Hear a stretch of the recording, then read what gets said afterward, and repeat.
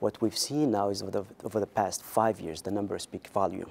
Uh, you have about 470,000 killed.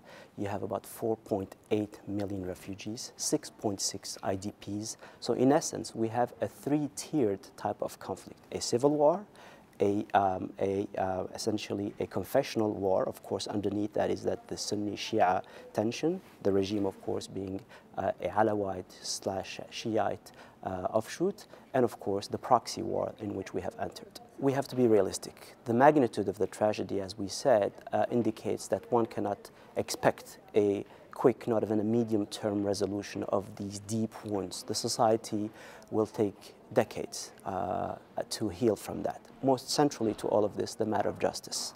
If there is impunity, if there's a sense that this is simply realpolitik overtaking the peaceful uprising, I think we don't go into the treating of the wounds.